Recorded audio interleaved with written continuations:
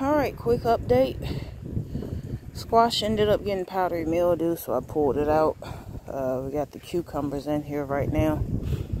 They're flowering. Um, I have not seen any fruit yet. Everything else is still holding on.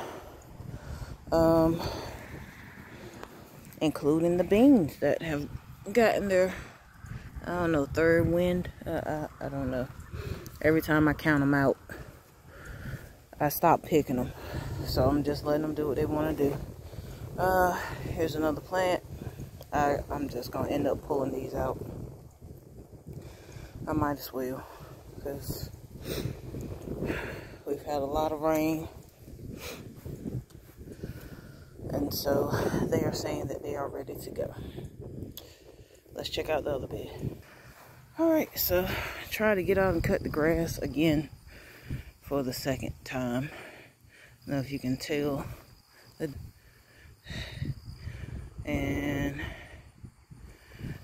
yeah, I cut around the squash plant. But I did not get any further than that.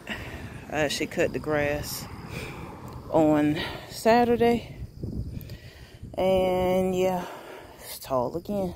So figured out what this was and it's sideways because I actually had to move it to trim a little bit. Um, and I've been snapping off leaves. But this is, I'm not going to be able to get to that. So this is going to be just, this fine. We're going to see if it's mildew resistant.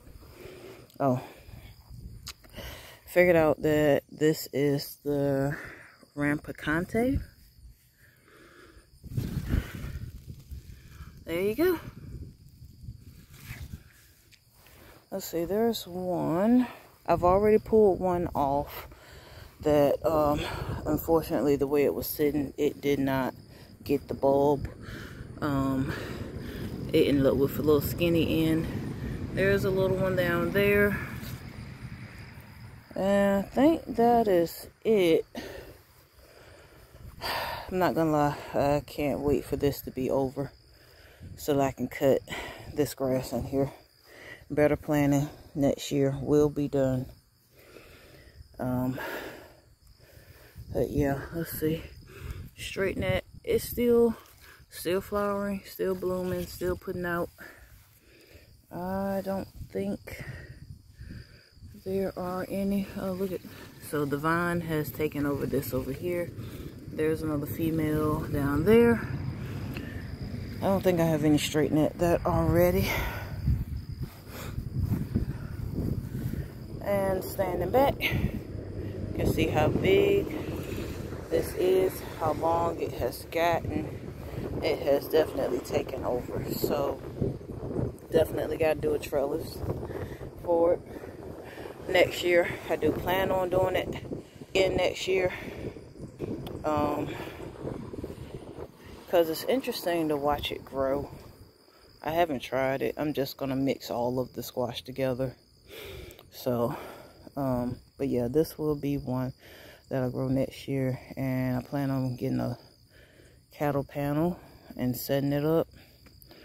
And I'm going to do all my vine and stuff over here and I'm gonna put it up on a cattle panel so that it can run and I can weed eat or cut the grass. So, all right, that's the plan. Have a good one.